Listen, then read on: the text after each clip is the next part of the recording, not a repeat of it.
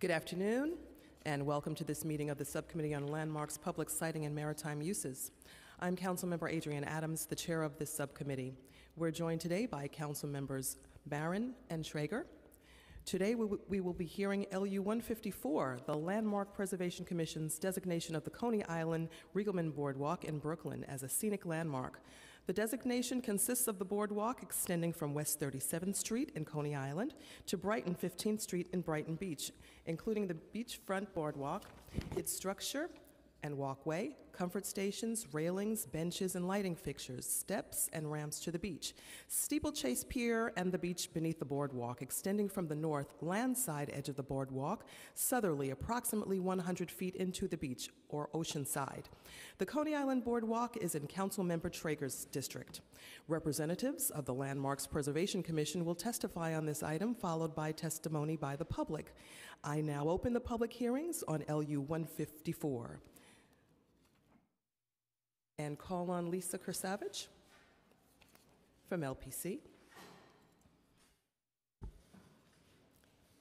Council, please swear in the panel.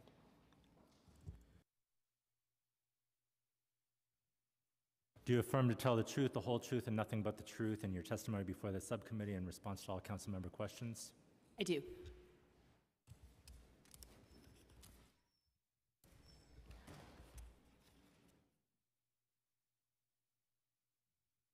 You may begin. Okay, great. Good afternoon, Chair Adams and subcommittee members. I am Lisa Kersavage, Director of Special Projects and Strategic Planning at the Landmarks Preservation Commission, and I'm here to present the recent designation of the Coney Island Riegelman Boardwalk by the Landmarks Preservation Commission. Coney Island's boardwalk is one of the best known waterfront promenades in the world. The 2.7 mile boardwalk has given people of all economic and social backgrounds free access to the beach and seaside since 1923. It is a significant destination unto itself and the embodiment of Coney Island's democratic spirit. The landmark site incorporates the entire length of the 2.7 mile boardwalk, including Steeplechase Pier, excuse me, boardwalk comfort stations, ramps and stairs to the beach, railings, benches, and light fixtures. It also includes the sand beneath um, the boardwalk, resulting in an approximately 100 foot wide corridor along the length of the boardwalk. On May 15, 2018, the LPC voted to designate Coney Island Riegelman Boardwalk as a scenic landmark following a public hearing held on April 17, 2018. At the public hearing and in written testimony, 12 people supported designation, including City Councilmember Mark Treyger, um, Councilmember Deutsch, New York State Assembly member um, Steven Cymbrowitz, New York Department of Parks and Recreation Commissioner Mitchell Silver, Alliance for Coney Island, Coney Brighton Boardwalk Alliance, Historic Districts Council, Landmarks Conservancy, and the Society for the Architecture of the City. There were no speakers opposed to designation. There are only 10 scenic landmarks in New York City, three of which are in Brooklyn Prospect Park, Eastern Parkway, and Ocean Parkway. These all were designed by Frederick Law Olmsted, or in some cases with Calvert Vaux, and built between 1866 and 1875. Ocean Parkway, the first road of its kind in the United States, was intended to extend from the southern entrance of Prospect Park to the sea. The proposed designation of the Coney Island Boardwalk, or excuse me, the designation of the Coney Island Boardwalk would culminate this procession of 19th century scenic landmarks, extending from Prospect Park to the Atlantic Ocean, and add a decidedly 20th century culturally significant um, scenic landmark to this important collection and LPC would regulate this scenic uh, landmark just as it does the other 10. Coney, Coney, Island has been a summertime destination for nearly two centuries. Named by the Dutch settlers for the rabbits and, that reportedly flourished among the dunes, the first hotels opened in the 1820s. By the start of the 20th century, there were numerous hotels, bathhouses, and saloons, as well as popular amusement district that included Dreamland, Luna Park, and Steeplechase Park. Prior to construction of the boardwalk, most of Brooklyn's waterfront was privately owned. Not only did businesses charge admission fees to use the beach, but in many places the sand had begun to wash away, leaving only a, a sliver of shoreline. Coney Island's boardwalk is named for Brooklyn Borough President Edward J. Riegelman, who played a major role in its creation and is seen at left driving the first stake. Part of an ambitious plan to rejuvenate Coney Island and the ocean beach, the approximately 80 foot wide boardwalk was designed by engineer Philip P. Farley. Farley described the boardwalk as an elevated highway. It consisted of a plank deck supported by reinforced concrete piles and girders.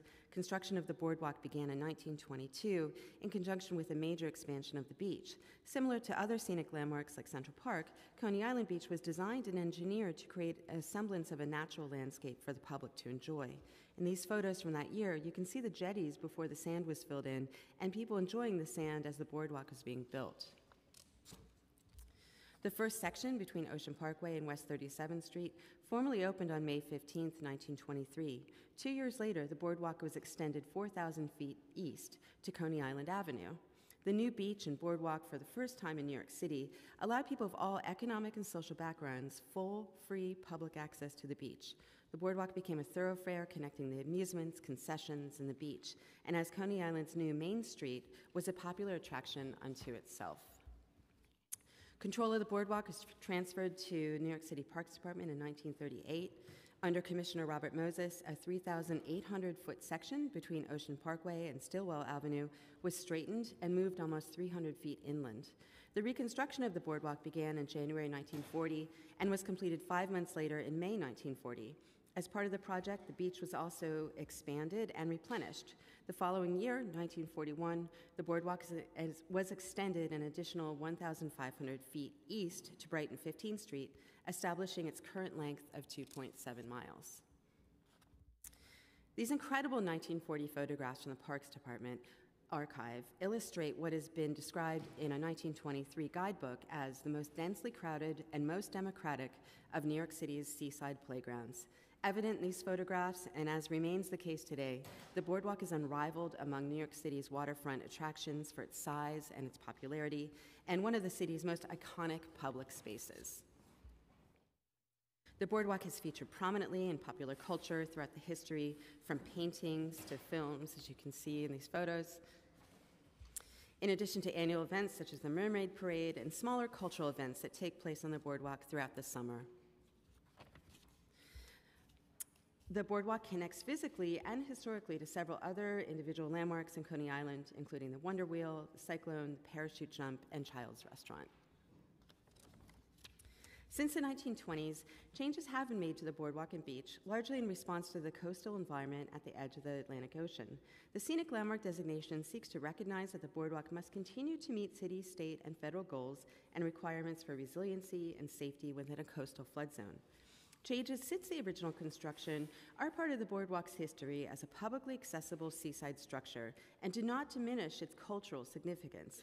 As you can see in the slide, the level of the beach has been raised substantially from its original elevation, and along the length of the boardwalk, its relationship to the beach has changed since the original construction. The walkways, planking, and paving have been replaced many times in the seaside location, and no historic fabric remains. In addition, light fixtures, seating, and comfort stations have changed over time. The Coney Island Riegelman Boardwalk was, was designated as a scenic landmark in recognition of its cultural and social significance. The boardwalk has given all New Yorkers and visitors free access to the beach and seaside for almost a century, and it is one of the best known boardwalks in the world. It remains an iconic place, a significant feature of the beachfront landscape, and the embodiment of Coney Island's egalitarian spirit. Given the significance of the Coney Island Boardwalk, we recommend that the City Council uphold this designation. And I want to quickly conclude by saying that this designation would not have been possible without the administration, including Mayor de Blasio and Commissioner Silver.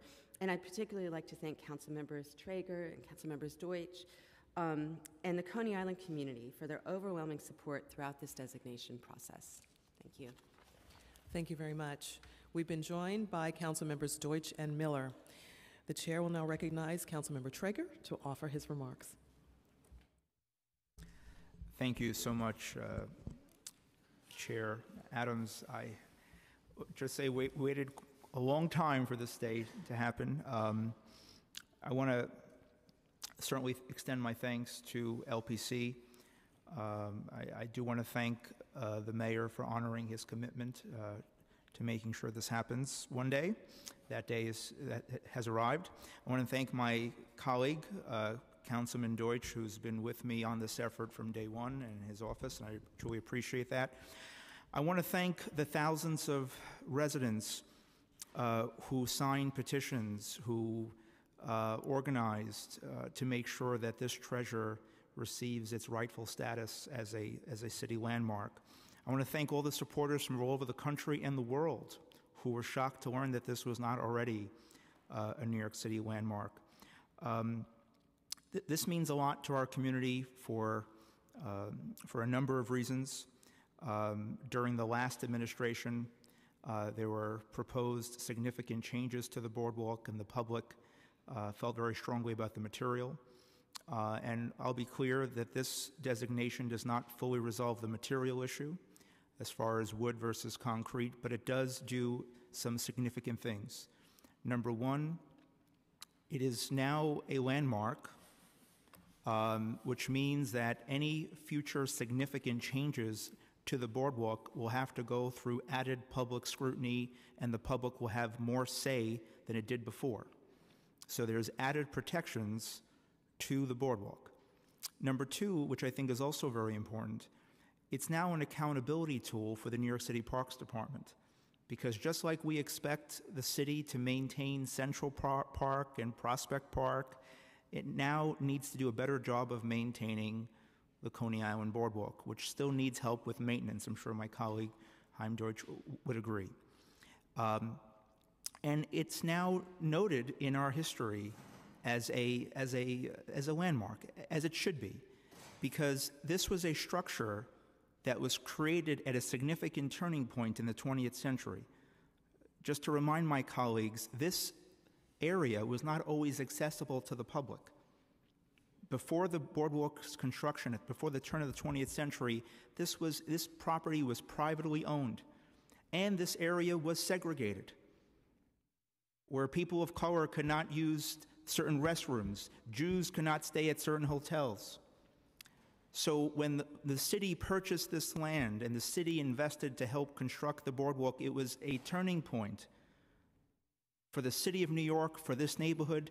It is a symbol of integration, a symbol that regardless of where you're from, the color of your skin, how much money you have, the faith you believe in, you are welcome here in Coney Island and Brighton Beach. You're welcome to enjoy this beautiful public treasure. And I'm also proud to report that uh, to my colleagues, this effort was done without the work of a lobbyist. There was no conservancy.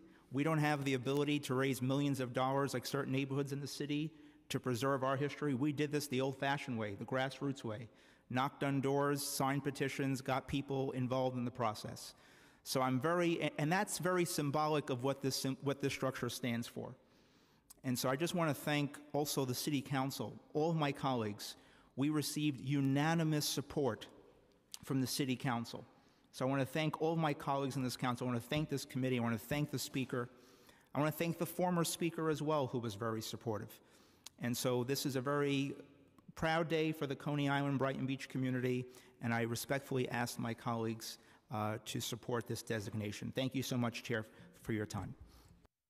Thank you very much, uh, Councilmember Treyger. Uh, I also uh, grew up anticipating going to Coney Island on many weekends, a little girl from Queens, and uh, was always totally excited by the notion to get to Coney Island. Uh, you couldn't pull me away from certain parts of Coney Island. Um, Nathan's has always been a particular favorite of ours as uh, the Fun House, and we could just go on and on and on. I'm really excited about this designation, and I do congratulate you and Councilmember Deutsch uh, on bringing this uh, to us.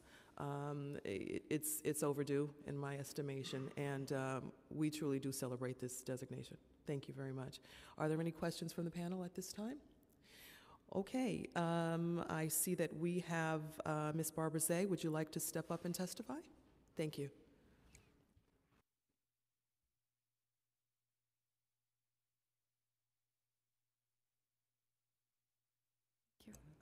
Oh, yes. There you go. Thank you. Good afternoon, council members. My name is Barbara Zay. I'm representing the Historic Districts Council. The Coney Island Boardwalk is arguably the most famous boardwalk on earth and an obvious landmark. The Historic Districts Council strongly supports its designation as a New York City scenic landmark, since by any measure, an accounting of New York City's landmarks, which does not include the boardwalk, would be entirely incomplete. We applaud its designation and thank Councilmember Mark Treyger for being such a strong champion for this long sought honor. We can all learn a lot from the City Council's leadership on this issue and are heartened by the Council's support for this action, which caused the LPC to reconsider its position on this property. We deeply hope that properties such as the Walt Whitman House on Ryerson Street in Brooklyn, the poet's last, uh, last remaining New York City residence, uh, which a number of council members have supported for landmark status, will also be reconsidered by the LPC. HDC does have concerns about protective power of the scenic landmark designation as it applies to the Riegelman Boardwalk. As we understand it, current administrative interpretations of the Landmarks Commission's policing power abrogate almost all authority the agency might exercise over the property. All future changes to the actual boardwalk in style, material, or even form will be reviewed in an advisory capacity without public testimony to help guide the Commissioner's advice. The public will have the opportunity to weigh in about existing buildings that fall within the bounds of the scenic landmark, but that was the case previously when the Public Design Commission had sole design review over the property. Issues of the historic context of this public property, the very boards of the boardwalk, still fall under the binding authority of the Public Design Commission and are ultimately controlled by the Parks Department, the very agency which replaced them with concrete in the first place. We urge the City Council to use every tool in its considerable arsenal to ensure the boardwalk is returned to a more appropriate material. Please make the Coney Island Boardwalk wood again. Thank you. Thank you for your testimony. Are there any more members of the public who wish to testify at this time? Seeing none, I now close the public hearing on this item. I will now call for a vote in accordance with the recommendations of the local council member to approve LU 154, the designation of the Coney Island Boardwalk as a scenic landmark. Council, please call the roll. Councilmember Adams. I vote aye. Barron. Permission to explain my vote? Granted? Uh, Thank you. I just want to call attention to the fact that we need to make sure that as the history is presented in the written form, that the Landmarks Commission include all of the aspects of the history of any areas or buildings and properties that we are considering. I want to thank Councilmember Treyger for highlighting the fact that yes, there was a period of time during which this area was racially and religiously segregated and not allowed people to participate. I think it's important that we include it in the written history, and I want to thank my colleague for making mention of that in his comments, and I vote aye. Miller. Permission to explain my vote, please? Granted.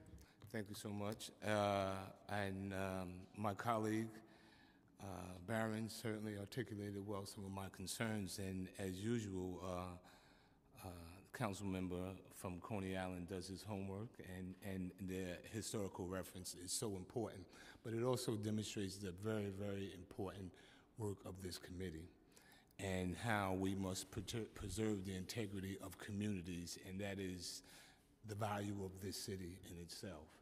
And uh, like our chair and my esteemed colleague, uh, alumni from Erasmus Halls, and, and I think that we spent countless, countless hours in, in Coney Island. In fact, my best friend and next door neighbor, his father owned a luncheonette over on Surf.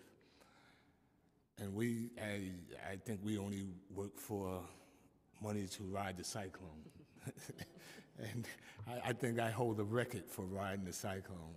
Um, with, with, with that being said, this is such an important part of the fabric of New York City, and I'm very proud of the work that is being done that we maintain uh, the fabric and integrity of, of neighborhoods as we see these transitions happen throughout the city. And so, I, with that, I proudly vote aye. Treyger. I wanted permission just to briefly explain my vote. I, I want to thank my colleagues uh, for, for their um, unwavering support, for their understanding of, of what this means to our community. Uh, and just to echo uh, the remarks of, of folks, I certainly would want this to remain a, a wooden boardwalk. It's, it was built that way. It was not built to be a sidewalk, and that that fight will continue. But I do believe that it deserves its rightful place to be known as a New York City landmark. Um, we didn't have many landmarks in this part of town. And when you see the other landmarks in the city, city of New York, it's very interesting where they're located and where this was not a part of that fabric. I'm proud to say that now we are on the levels of Central Park and Prospect Park. I'm very proud of that because we have a lot of rich history here too, and we have more work to do, but this is a good day, and I proudly vote yes. Thank you. By a vote of four in the affirmative, zero in the negative, with zero abstentions, the item is recommended for approval to the full Land Use Committee. Thank you, Council. I will now call on Councilmember Deutsch. Uh, Thank you, Chair. So um, I can vote, I'm not on this committee, so, but I just want to congratulate my colleague, Councilmember Mark Treyger, and this has been like a good couple of years since this came up, and uh, we've been fighting uh, to landmark this, bo- the boardwalk. So I want to thank um, Mayor de Blasio and the Landmark Commission, and I just want to finish off by saying that uh, Borough President Riegelman is definitely smiling down to us right now, knowing that the boardwalk's being landmarked. So, uh, thank you all. Thank you, council member. And at this time, I do thank the members of the public, my colleagues, council, and land use staff for attending today's hearing. This meeting is hereby adjourned.